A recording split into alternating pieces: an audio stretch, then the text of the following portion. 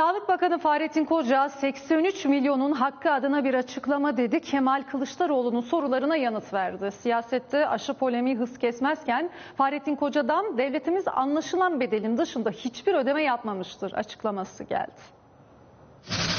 Her dozu 12 dolardan fatura edildi mi, edilmedi mi? Vatandaşımıza bu anlamda verilmeyecek hiçbir hesabımız yok. CHP lideri ısrarını sürdürdü. Sağlık Bakanı bir kez daha yanıtladı. Türkiye'nin iki ordusu var. Biri ülkeyi, biri 83 milyonun sağlığını koruyor diyen Fahrettin Koca, ikisi de siyasi çıkar amaçlı ithamlarla yıpratılmaya gelmez mesajı verdi. Olması gereken devletler arası sırrı niye ortaya döküyoruz? İki hafta önce başladı aşı polemiği. Gümrük belgelerine işaret eden Kemal Kılıçdaroğlu, Çin'den 1 milyon doz aşının ücretsiz alındığını, aracı kuruma 12 milyon dolar ödeme yapıldığını iddia etti.